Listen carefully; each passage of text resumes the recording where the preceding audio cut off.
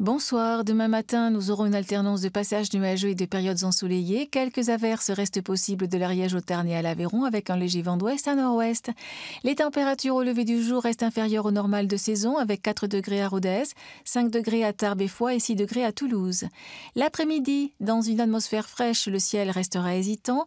Les passages nuageux vont succéder aux éclaircies. Les nuages les plus sombres apporteront des averses du Tarn à l'Aveyron et vers la Bigorre, mais ce risque d'averse s'atténuera le soir en montagne.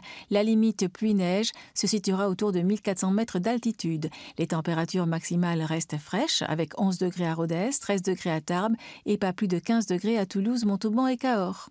En Languedoc-Roussillon, demain matin, toujours beaucoup de nuages et des averses éparses. Le soleil devrait refaire de belles apparitions à la mi-journée sur la plaine languedocienne.